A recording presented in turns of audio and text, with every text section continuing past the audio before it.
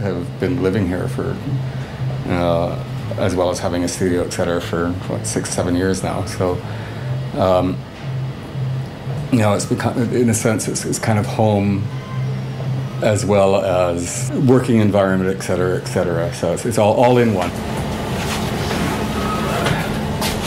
It's been an interesting experience for me. It's nice because it's diverse.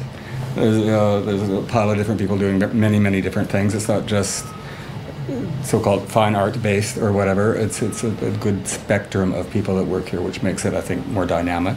The mill itself, for me, is, is kind of served as a bit of a, of a, a godsend, as I was incredibly busy doing in, academia, and it kind of grounded me in a certain context, primarily through the fact that there was people that I could just feel relaxed around.